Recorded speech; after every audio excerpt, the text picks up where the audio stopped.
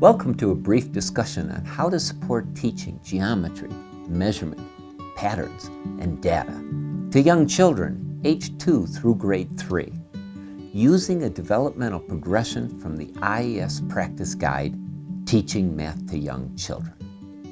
Let's get started. There are five recommendations in the Practice Guide, and all are based on a systematic review of research conducted by researchers and practitioners with expertise and experience in early math development. We will discuss recommendation two, which suggests that we teach children geometry, patterns, measurement, and data analysis through a developmental progression. So what do we mean by teaching children through a developmental progression?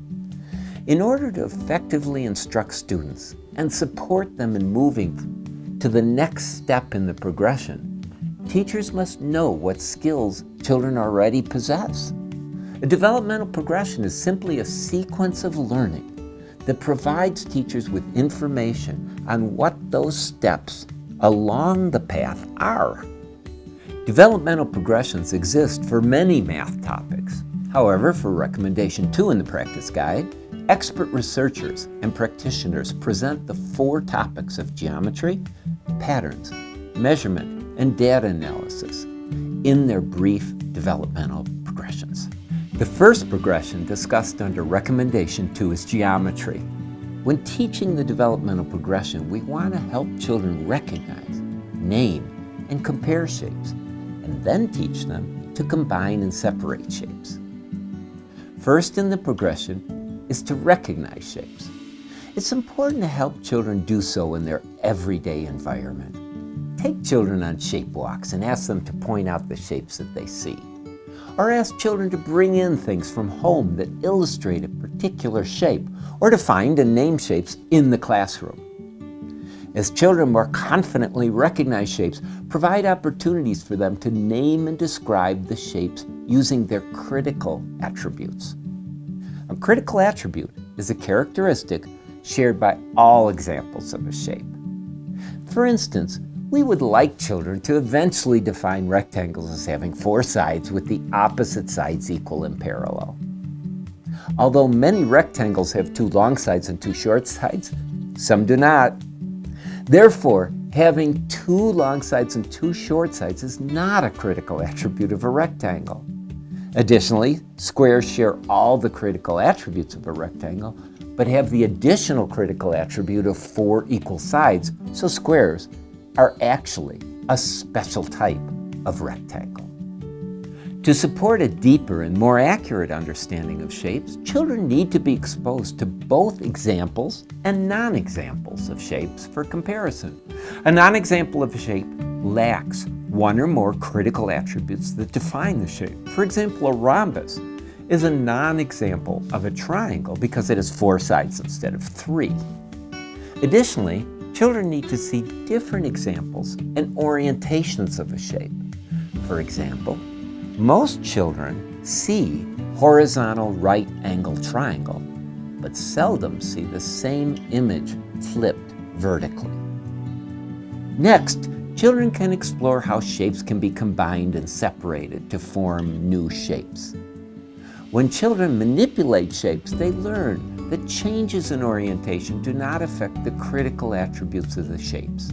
As they practice combining shapes, it is an opportunity for children to learn about spatial vocabulary such as in, on, under, beside, above, or below. Playing games such as the Shapes game from the practice guide supports children in learning spatial relations and shape combinations. Patterns are the second developmental progression under recommendation two. Specifically, the recommendation is to encourage children to look for and identify patterns and then teach them to extend, correct, and create patterns. First, children can experiment with basic repeating patterns. For example, have the class line up to go outside in a pattern such as boy, girl, boy, girl. As children become familiar with simple AB, AB patterns, they can experiment with more complex ones, such as girl, girl, boy, boy, or AA, BB. Ask children to find patterns in the classroom or on themselves. They may point out stripes on their clothes, designs in rugs, or bricks on the sides of buildings.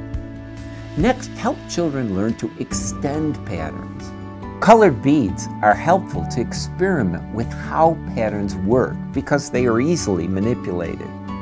Teachers can create a simple ABAB pattern with different colored beads on a string or a stick and then ask children what comes next. As a challenge, create an error to the pattern and ask children to correct it. Adding more colors or beads of different shapes and sizes will also make this task more challenging. Measurement is the third developmental progression shared under Recommendation 2. To promote children's understanding of measurement, the progression begins by teaching them to make direct comparisons and to use both informal or non-standard and formal or standard units and tools.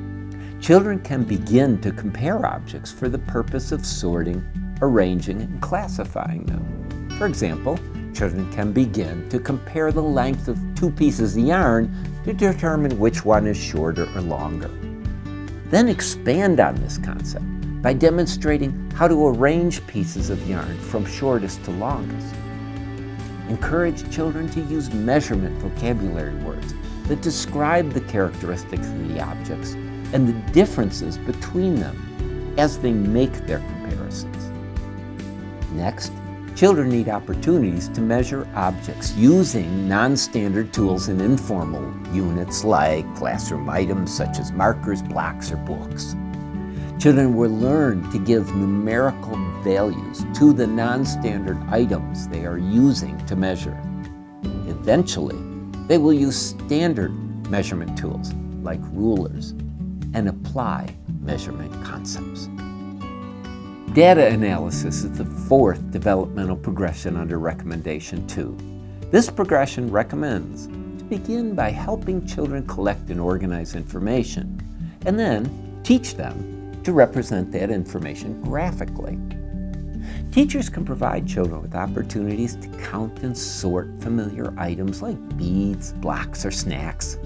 A good time to introduce sorting exercises is when children are putting away toys that they must sort into the appropriate bins. If children are interested in drawing, they can sort different color crayons or crayons versus other writing utensils. Graphs are a great way for children to practice organizing the information they sorted visually. Start by introducing how to graph with simple tally marks or pictures and then interpret the meaning of the graphs. Try creating classroom graphs that describe different characteristics of children in the class, such as their hair color or favorite foods. For further information related to teaching math to young children, please take some time to review the full practice guide. Also, visit the RELS Central website for more education research and resources to support schools and student outcomes.